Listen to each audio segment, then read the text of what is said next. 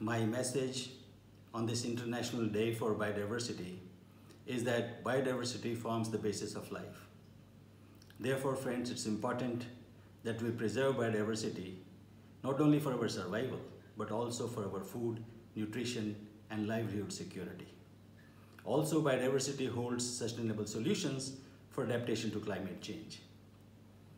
And friends, we should always remember that we are not the only species on this planet Earth. We share this planet with hundreds of thousands more species with equal rights. Therefore, we must learn and educate others to live in harmony with nature and take all those necessary steps to halt any further loss of biodiversity from this planet. We need to protect biodiversity from the adverse impacts of climate change and the fast emerging plant and animal pathogens. It's also important that we use agrobiodiversity by employing all the latest tools of science and technologies like genome editing for producing more from less so that we save land and further promote the preservation of biodiversity on this planet.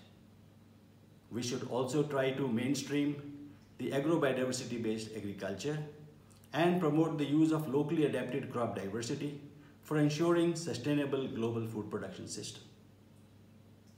I thank the Convention on Biological Diversity of United Nations for inviting me to participate in this event.